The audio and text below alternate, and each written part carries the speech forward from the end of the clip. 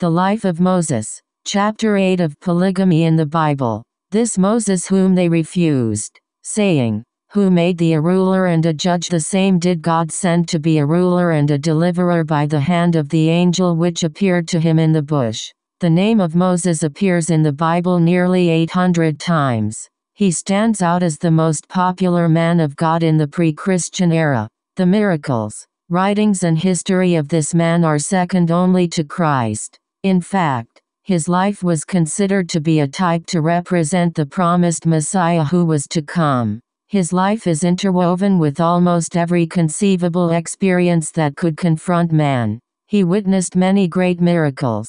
He was a candidate to be the greatest king on earth. Yet he knew poverty on the plains of Midian. He became the leader of the greatest exodus ever recorded in history. Yet he also traveled alone in the desert. He knew poverty and riches popularity and loneliness. He lived in conflict with one of the most wicked men who ever lived, yet he talked with God face to face. He wrote more of the Bible than any other person, yet this great prophet, leader and hero was a polygamist.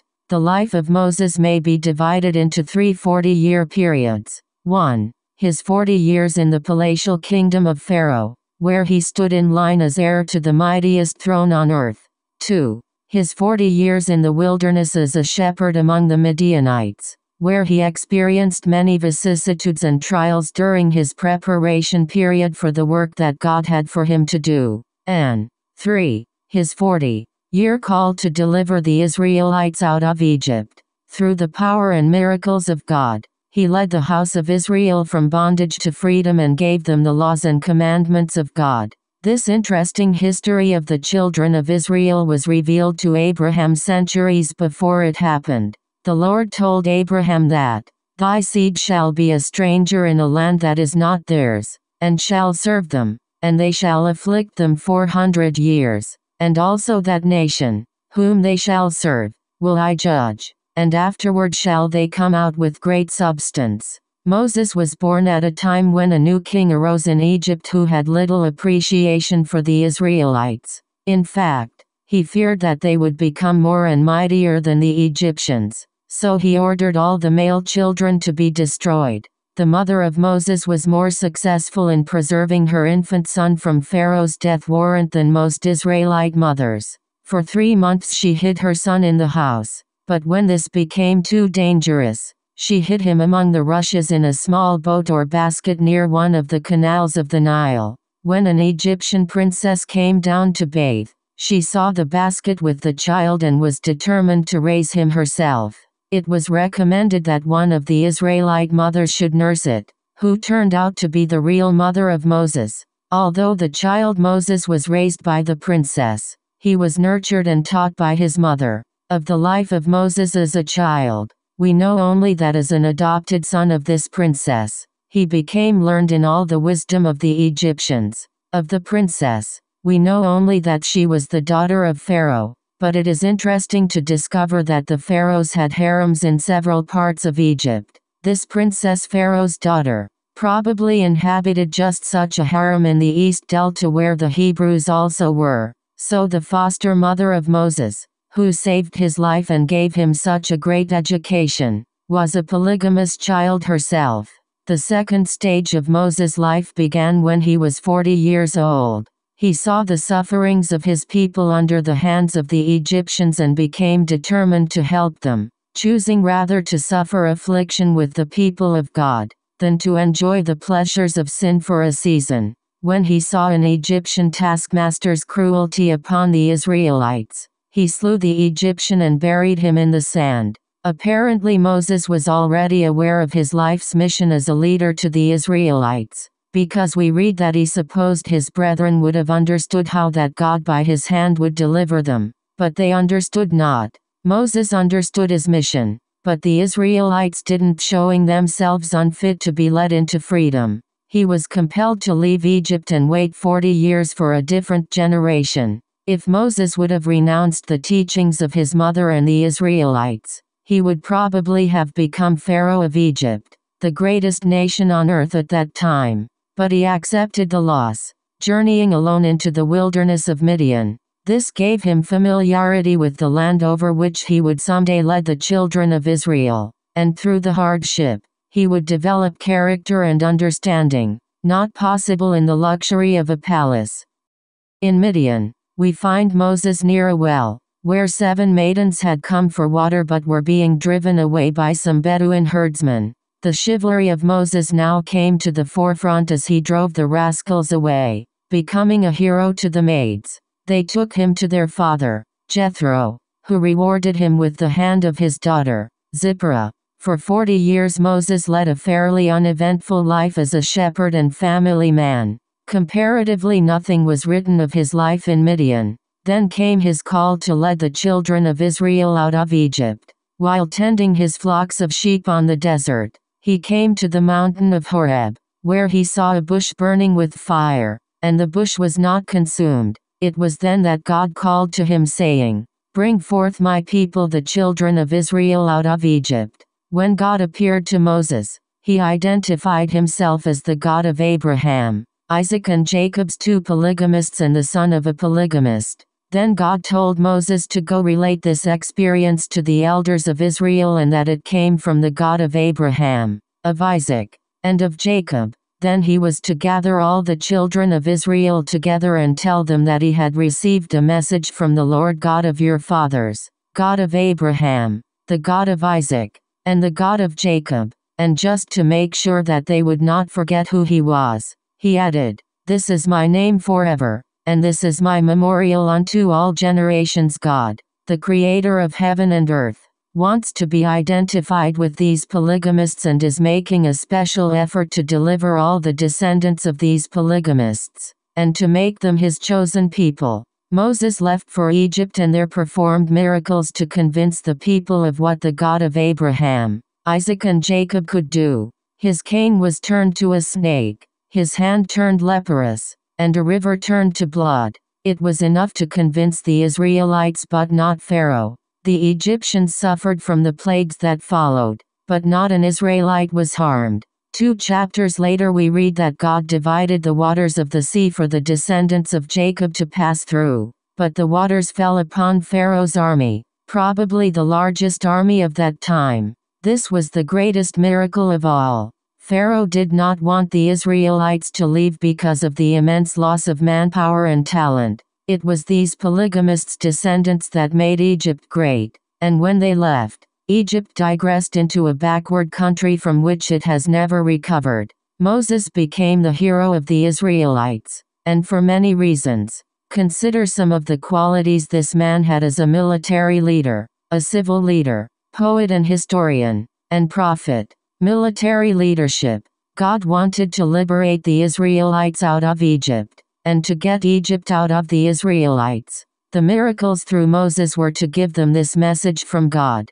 To accomplish this, Moses destroyed the armies of Egypt in the Red Sea. This was no small act of warfare since three million Israelites were afraid of the multitude of that tremendous army. The total destruction of that multitude was so miraculous and so effective, that it caused great alarm among all the other nations. This was only one act of warfare, and he went on to become a conquering soldier and military leader as much as any other man in Israel. We read of his march to Sinai and the march from Sinai to Kadesh. Then there was the conquest of the Transjordanic kingdoms, the two campaigns in which the great leaders of Sihon and Og were defeated, then the disastrous battle at Hormah. Through it all, he proved to be as victorious in battle as was Joshua. Civil leadership, Moses became great in his own time, both among friends and enemies, for it was written that the man Moses was very great in the land of Egypt, in the sight of Pharaoh's servants and in the sight of the people. The magnitude of his leading millions of Israelites through every conceivable difficulty is a feat unparalleled in history. When they were in the desert, he was able to sustain them, through divine inspiration, by providing water, food, and necessities. His wisdom in organizing so many people, solving their problems and leading them for so many years is one of the notable events of the Bible. Poet and historian, Moses wrote many poetic sayings, poetic blessings, and war songs about the deliverance from Egypt and the greatness and weakness of Israel. Many blessings on the tribes, prayers, and psalms were also attributed to this great man. His historical and scriptural writings consist of nearly half the entire Old Testament of the Bible. Prophet. It has been written by historians that Moses is the first as he is the greatest example of a prophet in the Old Testament. Divine revelations to him were continuous and it has been pointed out that he was led into a closer communion with the invisible world than was vouchsafed to any other in the Old Testament. Comma, he was a man who spoke with God and had a personal relationship with God. The Lord spake unto Moses face to face, as a man speaketh unto his friend. It is written that after Moses went before the Lord to speak with him, that the children of Israel saw the face of Moses, that the skin of Moses' face shone, this is what happened to Christ when he spoke to God. As previously mentioned, aside from Jesus, it has never been given to any man to be the agent of so many miraculous manifestations of divine power, some of which are the plagues in Egypt, waters of Red Sea divided, water made sweet at Marah, quails sent for food in the wilderness, manna supplied daily for forty years, water from the rock at Rephidim and Meribah, Manifestations at Sinai. God's voice from the mountain. Two sets of commandments written on stone. Moses' face shone like the sun. Miriam's leprosy and its removal. Korah and his rebels swallowed by the earth. Plagues at Taberah, Kadesh, and Peor. Aaron's rod buds. People healed by brazen serpent. Israel guided 40 years by a supernatural cloud and pillar of light. Christ is described somewhat obscurely by New Testament writers as the Moses of the New Dispensation, and the details of their lives are sometimes compared. The greatness and spiritual prophetic call of Moses is clearly manifest throughout all the writings of the Bible. He was an example of a prophet with the power of God. Yet this man was a polygamist. Moses became a polygamist when he married a woman who was not an Israelite. His brother Aaron and his sister Miriam murmured against him for taking this foreigner as a wife. And Miriam and Aaron spoke against Moses because of the Ethiopian woman whom he had married, for he had married an Ethiopian woman. A few suppose that this might have been his wife, Zipporah, as some scholars acknowledge, but it was not. Zipporah was a Midianite woman. However, marriage to foreign women was not uncommon, nor was polygamy. Aaron and Miriam had no right to murmur against Moses for either his polygamy or his foreign wife. Just because Moses' new wife came from Ethiopia, did not necessarily mean she was of a colored or cursed race.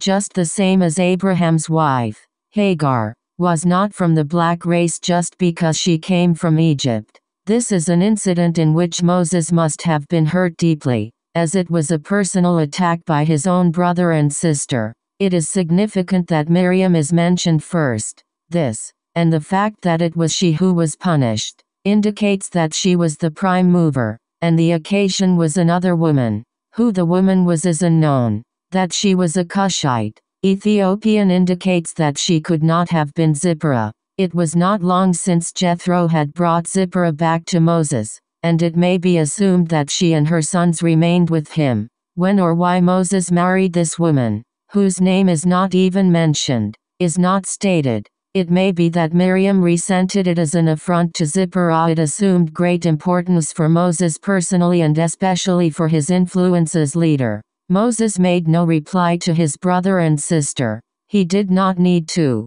The Lord suddenly intervened and emphasized to these next of kin the unique position which their brother enjoyed. He then inflicted leprosy on Miriam and removed it only in answer to Moses' intercession. In response to Aaron's agonized supplication, the fact that the Lord dealt so suddenly and severely and that Miriam was made such a public example, made it a significant occurrence in the eyes of the people, and turned it into a notable confirmation of the unique authority of Moses. There would be no reason for Miriam to speak against Moses' wife Zipporah at this late date. So Moses must have married the Ethiopian near the time of their rebellion. Even Zondervan found it difficult to understand why Moses married this foreign girl. However, it was not uncommon for leaders of nations to give daughters to victors or to assure good intentions to keep peace between nations. Abraham and his great-grandson, Joseph,